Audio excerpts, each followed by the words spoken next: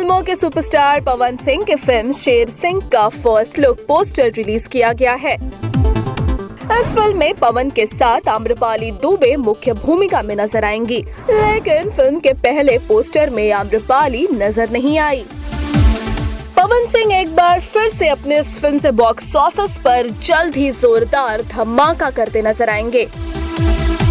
Film के poster में पवन सिंह काफ़ी अलग लग रहे हैं। पोस्टर को अशोक स्तंभ के शेर की तरह बनाया गया है, जिसकी भव्यता लोगों को आकर्षित करने वाली है। फ़िल्म को इस दशहरे के मौके पर रिलीज़ करने की प्लानिंग की जा रही है।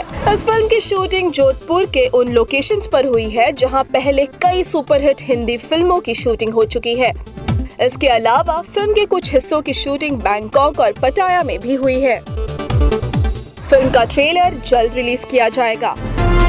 फ़िल्म में पहली बार पवन सिंह और अम्रपाली दुबे की जोड़ी एक साथ नज़र आने वाली है।